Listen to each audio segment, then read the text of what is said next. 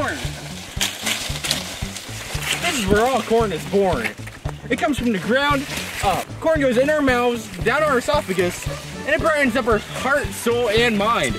Today we are talking about dent corn, sweet corn, flint corn, heirloom corn. These corns are what you're used to seeing. Now what do you do with corn?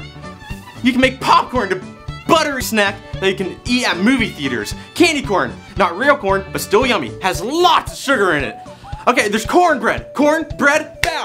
And then you get some butter, bow. So good, it's bread. Who doesn't like bread? It's corn. Oh yeah, cornmeal. I don't really know what it is. it is, just ground up corn. I think they feed it to cows, I'm not really sure. It's corn!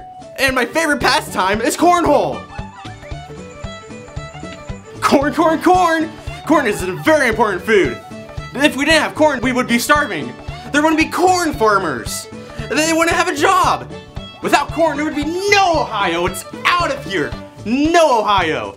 Next time you go out to your local supermarket, make sure you buy all kinds of corn related items. Like normal corn, popcorn, candy corn, whatever kind of corn you want. Be grateful that we have corn today. Hope you learned something today. Hello? Do you have any corn? I got a dollar! Dollar, dollar, dollar!